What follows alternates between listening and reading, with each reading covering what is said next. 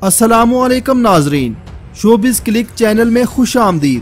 Drama serial میرا قصور کی قسط نمبر 44 کی پرومو نشر کر دی گئی ہے۔ جس میں آپ دیکھیں گے کہ شاہزیب کو احساس ہو گیا ہے کہ وہ سمرین کے ساتھ اچھا سلوک نہیں کر رہا۔ ہنا نے شاہزیب کو اپنی اصلیت دکھانا شروع کر دی ہے۔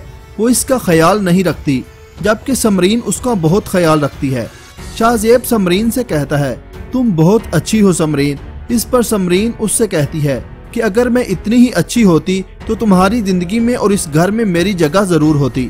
اس پر شاہزیب کہتا ہے کہ اگر میری زندگی میں ہنا نہ ہوتی، میں نے اس پر اندھا اعتماد نہ کیا ہوتا، تو آج سچویشن کچھ اور ہوتی۔